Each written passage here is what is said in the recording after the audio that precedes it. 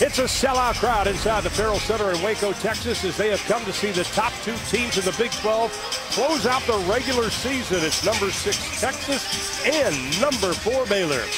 Since losing to Oklahoma State. You're going to see both play primarily man-to-man -man throughout. Depending on how they guard those on-ball screens, Texas is going to show a couple of different looks. Minutes in the first game versus Texas, only one point, and then the pick by Rodrigo. Up ahead to McCarty. And we are tied at four. Texas coming in 9 and 0 this season versus ranked teams. Wallace hesitation opens it up. The mom and the daughter, and uh, she was all, Kim was the associate head coach at that time, but having that relationship right. with her player then was able to get Kalani Brown to come here to Baylor. Davis spins around Davenport. Working on Wallace, a little too strong on the layup, and here comes Johnson up front. Davis with the reverse, Boyette with the foul. This team in this court is full of competitors, and Wallace is like, you're not going to guard me? I'm going to go up with it.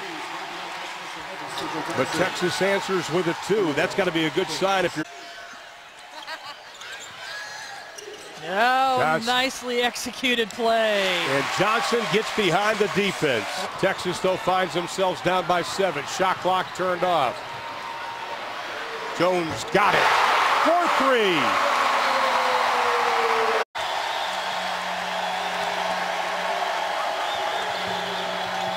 McCarty gets nailed, count the basket and a foul. They are. Their defense has really shut down Texas. Texas doesn't have any three-pointers made.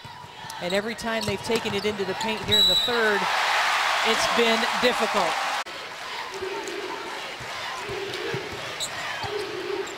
Johnson to Wallace, catching shoe, buries another one. 18 for Kristy Wallace. Davis gives it up. Jones, little hesitation. Scoop shot with the left hand. Oh, that's pretty. Johnson in the lane off the glass. Counted. Came in here with a lot of confidence, hoping to be able to share the title, but the Baylor defense just way too much. And then so many different players being able to score for Baylor on this end. Johnson, little hesitation, scoop shot counted.